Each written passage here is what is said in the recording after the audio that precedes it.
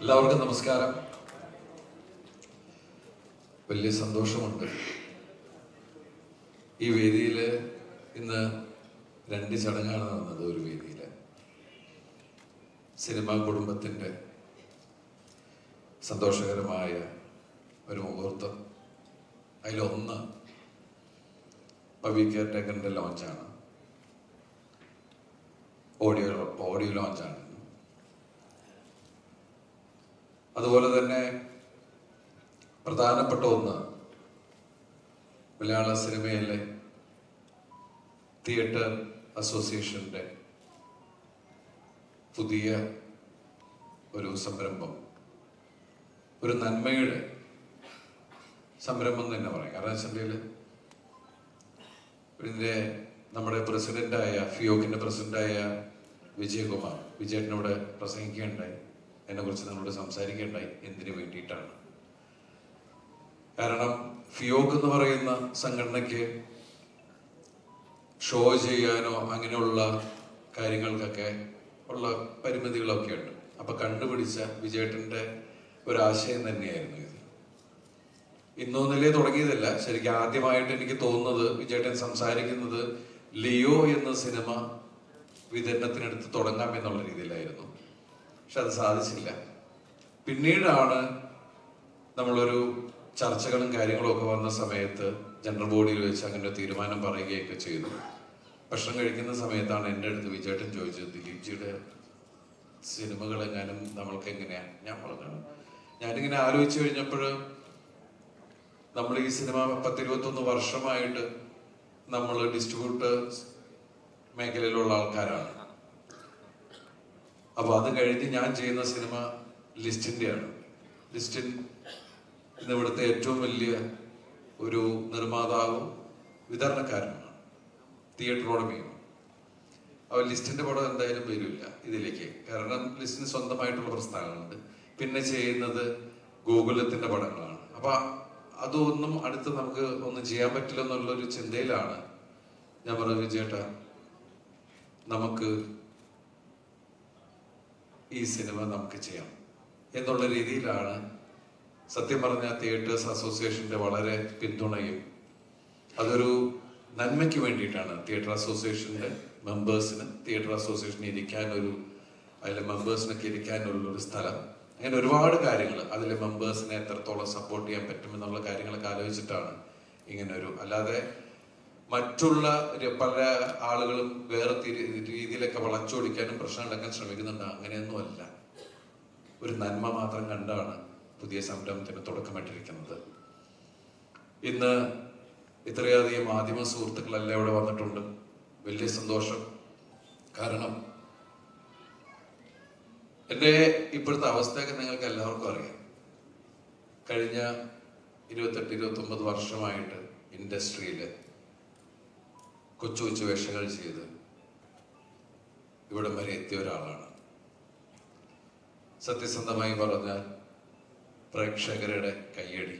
അതുപോലെ തന്നെ എന്നെ വിശ്വസിച്ച് ഞാൻ ഇത്രയും പ്രശ്നത്തിൽ നിൽക്കുമ്പോഴും എന്നെ വിശ്വസിച്ച് ഇവിടെ സിനിമ നിർമ്മിക്കുന്ന എന്റെ നിർമ്മാതാക്കൾ അതുപോലെ തന്നെ എന്നെ പുതിയ പുതിയ കഥാപാത്രങ്ങൾ തന്ന് എന്റെ സംവിധായകരെ എന്റെ എഴുത്തുകാരൻ എന്റെ കോ ആർട്ടിസ്റ്റുകൾ ഒരുപാട് പേരുടെ ഒരു പ്രാർത്ഥനയാണ് ഈ ഞാൻ.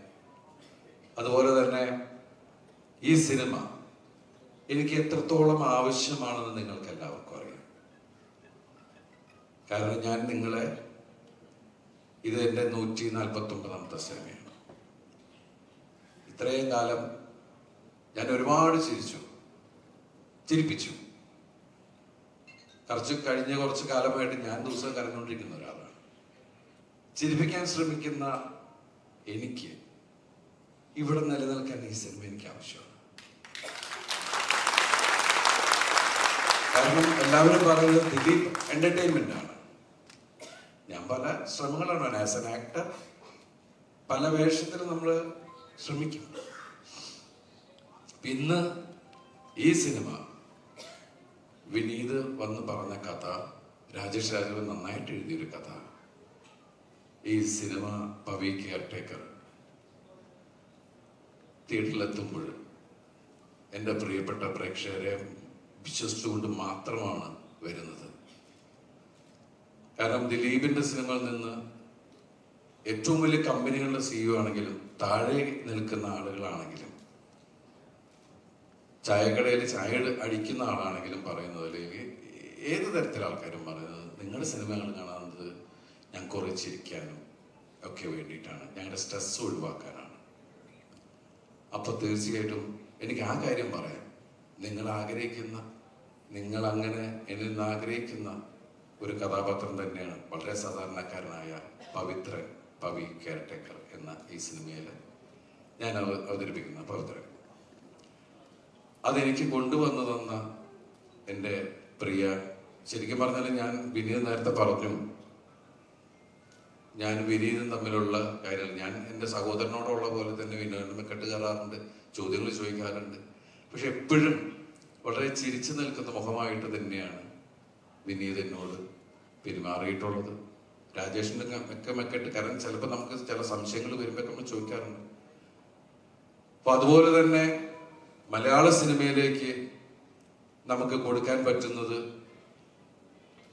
എന്താ പറയാ എന്റെ കൂടെ വർഷങ്ങൾക്ക് മുമ്പ് ഒരുപാട് നായികമാർ എന്റെ കൂടെ വന്നിട്ടുണ്ട്. അവരുടെ ആദ്യ നായകനാണ് ഞാൻ. അതുപോലെ തന്നെ മലയാള സിനിമയിലേക്ക് അഞ്ച് നായികമാർ കൂടി പുതിയതായിട്ട് വരികയാണ്. ഇവർ അഞ്ചുപേരും കഴിവുള്ളവരാണ്. അത് നിങ്ങൾക്ക് ഈ സിനിമ കാണുമ്പോൾ മനസ്സിലാവും.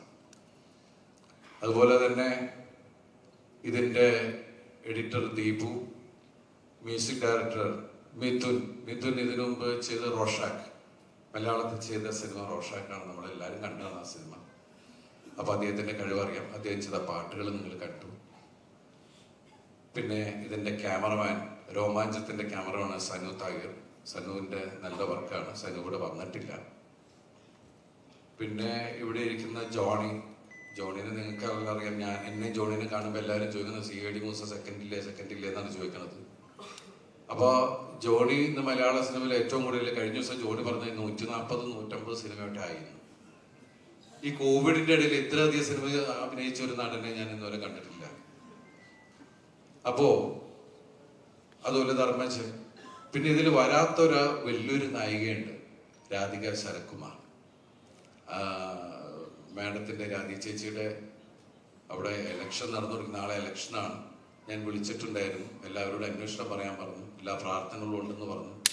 രാധേ ചേച്ചി ഒരുമിച്ച് അഭിനയിക്കുന്ന രണ്ടാമത്തെ ചിത്രമാണ് രാമലീലേന്റെ അമ്മയായിട്ടാണ് അഭി- അഭിനയിച്ചത്. ഇതിൽ റിട്ടയേർഡ് എസ് ഐ മറിയാമ എന്ന് പറഞ്ഞ ശക്തമായിട്ടുള്ള കഥാപാത്രമാണ്. അതുപോലെ ഈ സിനിമയിൽ ഒരുപാട് നിങ്ങൾക്ക് ഇഷ്ടമുള്ള ഒരുപാട് മറ്റു കഥാപാത്രങ്ങൾ എല്ലാവരും ഉണ്ട്. നിങ്ങൾക്ക് എല്ലാവരും ഇഷ്ടമാകുന്ന ഒരു സിനിമ തന്നെയായിരിക്കും. ഈ വേദിയിൽ എന്താ പറയാ ഇവിടെ വന്നിരിക്കുന്ന എല്ലാവരോടും അത്രയധികം നന്ദി കടപ്പാടും അറിയിക്കുന്നു. ഈ സിനിമ ഇരുപത്തി ആറിന് നിങ്ങൾ തിയേറ്ററിൽ തന്നെ പോയി കാണുക. ഇത് ശരിക്കും എന്റെയും ആവശ്യമാണ്. ഫിയോക്ക് എന്ന് പറഞ്ഞ സംഘടന ആദ്യമായിട്ട് ഒരു സംരംഭത്തിലേക്ക് ഇറങ്ങുമ്പോൾ പൂർണമായിട്ടുള്ള പിന്തുണയും ഞങ്ങൾക്ക് എല്ലാവർക്കും ആവശ്യമാണ്.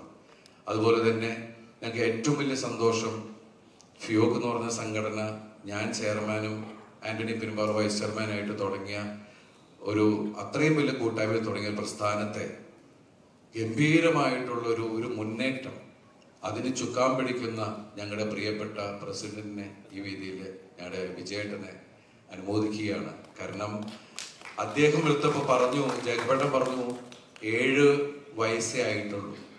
ഈ ഏഴ് വയസ്സിനുള്ളിൽ അങ്ങനെയുള്ള ചിന്തകൾ അല്ലെങ്കിൽ അതിനു വേണ്ടിയിട്ടുള്ള ഒരു പ്രയത്നം അതിന് തുടക്കമിട്ട ഈ ഇന്നത്തെ ഭരണസമിതിയെ ഞാൻ അനുമോദിക്കുകയാണ്. അപ്പോൾ തീർച്ചയായിട്ടും എല്ലാവരുടെയും കൂട്ടായിട്ടുള്ള പ്രാർത്ഥന സ്നേഹം പിന്തുണ എല്ലാം ഞങ്ങളോടൊപ്പം ഉണ്ടാവണം. അതുപോലെ തന്നെ ലാസ്റ്റ് മിനിറ്റിലേക്കാണ് പലരെയും വിളിച്ചിട്ടുള്ളത്. ആ ലാസ്റ്റ് മിനിറ്റ് പോലും ഒരു പ്രയാസവും കാണിക്കാതെ ഓടി വന്ന എന്റെ പ്രിയപ്പെട്ട എല്ലാവരോടും ഈ വേദിയിൽ നന്ദി പറയുന്നു. വളരെ അധികം സന്തോഷം. സർവശക്തനായ ദൈവത്തോട് നന്ദി പറയുന്നു. താങ്ക് യു താങ്ക്സ് എല്ലാം എല്ലാ പ്രാർത്ഥനയോടും കൂടി പ്രേക്ഷകർ അതുപോലെ പറയാൻ വിട്ടുപോയി. ഇതിന് എന്റെ കൂടെ നിന്നിട്ടുള്ള റോഷൻ ചിറ്റു അതുപോലെ എന്റെ സഹോദരന്മാര് അനൂപ് സുരാജ് പിന്നെ എന്റെ ബാല്യകാല സുഹൃത്തായ കെ പി വ്യാസനെ. വരും. വ്യാസഭായി ഇത് വാങ്ങിച്ചിട്ട് പോകും പ്ലീസ് ഞങ്ങൾ രണ്ടുപേരും നിഗ്രട്ട് നടക്കുന്ന കാലം മുതലുള്ള സുഹൃത്തുക്കളാണ്. ഞങ്ങൾക്ക് രണ്ടുപേരുടെ മനസ്സിൽ സിനിമയാണ് ഞങ്ങൾ ഒരിക്കലും പറഞ്ഞിട്ടില്ല ഈ വർഷങ്ങൾക്ക് ശേഷം ആണ് ഞാൻ ഞാൻ സിനിമയിൽ വരുന്നതിന് മുമ്പ് സിനിമയിൽ വന്ന റെപ്രസെന്റേറ്റീവ് ആയിട്ട് തുടങ്ങി എഴുത്തുകാരനായ ഇന്ദ്രിയ എന്ന് പറഞ്ഞ സിനിമ സൂപ്പർ ഹിറ്റ് സിനിമ എഴുതിയ വ്യാസനാണ്. അതിനുശേഷം വ്യാസൻ സംവിധായകനായി. ഇപ്പോഴും ആ പഴയ സുഹൃത്തായിട്ട് എന്നോടൊപ്പം നിൽക്കുന്ന വ്യാസനെ ഞാൻ ഈ സമയത്ത് അനുമോദിക്കുകയാണ് താങ്ക് യു താങ്ക്സ് എല്ലാവർക്കും ഒരുപാട് ഒരുപാട് നന്ദി. Thank you thank you so much ദിലീപേട്ട.